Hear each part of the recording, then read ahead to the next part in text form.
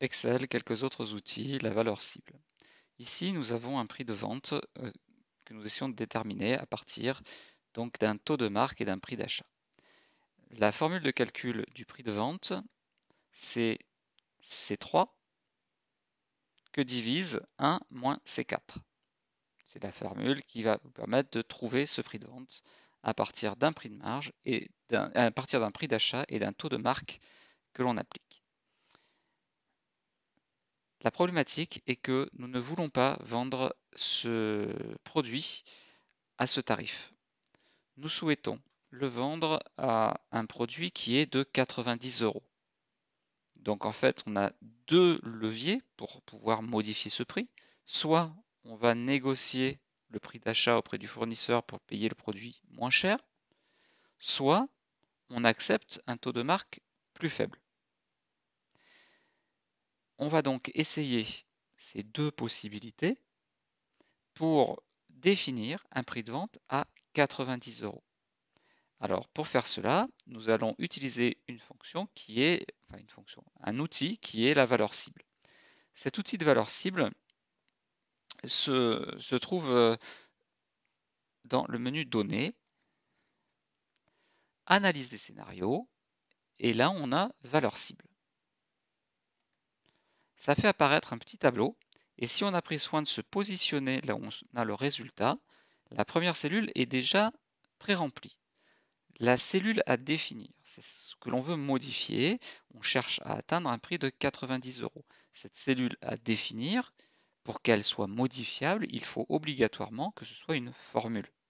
Donc là, effectivement, la cellule C5 euh, a un contenu qui est égal à C3 divisé par, ouvrez la parenthèse, 1 moins C4, fermez la parenthèse. On va donc essayer de définir un nouveau prix qui ne sera plus de 100 euros, mais qui sera de 90 euros. Donc cela, c'est la valeur à atteindre. Aujourd'hui, on a 100, on veut atteindre 90. Et pour passer de 100 à 90, eh bien, on va devoir jouer sur une variable. Premièrement, on va jouer sur le prix d'achat. Donc la cellule à modifier, je vais dire que c'est la cellule C3 je fais OK. Et à ce moment-là, si je valide, je vois qu'il a trouvé tout seul qu'il faut que j'aille négocier auprès de mon fournisseur un prix d'achat à 72 euros au lieu de 80 euros pour maintenir mon taux de marque et avoir un prix de vente de 90 euros. À l'inverse, c'était la deuxième question, si je souhaite avoir un prix de vente qui est de 90 euros, que le prix d'achat n'est pas négociable, et donc que j'accepte de réduire le taux de marque, à ce moment-là, on va faire la même manipulation, mais on va jouer sur le taux de marque. Donc en fait, je me positionne là où je veux le résultat, je vais dans l'onglet Données, puis Analyse des scénarios et valeurs cibles. La valeur à atteindre, c'est 90.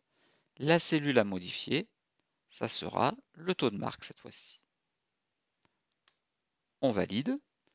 On arrive à quelque chose qui est très proche de 90 euros. Et donc, on n'aura non pas un taux de marque à 20%, mais un taux de marque de 10% seulement. Il me reste à formater ça au format monétaire pour avoir quand même quelque chose d'un peu plus présentable.